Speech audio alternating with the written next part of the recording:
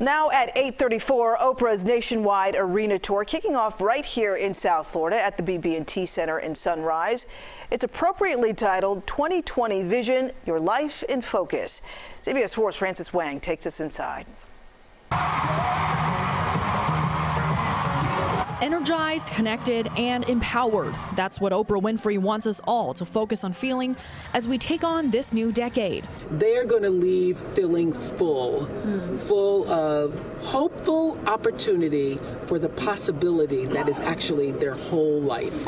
So I want people to live a life that is as joyful as mine, is as fulfilled as mine, is as well balanced as mine. The international media mogul shared her personal ups and downs, including those of her wellness journey. For me, healthy is actually the new skinny, that I'm not trying to fit into a certain size or fit into somebody else's idea of what I should look like. I'm just living my body, being in my body, loving myself where I am. The tour is in partnership with WW, formerly Weight Watchers, each city featuring a different high profile guest. For South Florida, Lady Gaga stopped by. Attendees all here hoping to leave with something that sparks a life change. I came here to get Oprah's spirit and energy. This is the year of the women, and Oprah is the most amazing woman in the United States. Learn more about balance and loving yourself and just being able to hear her beautiful message about living in life. Yes, I am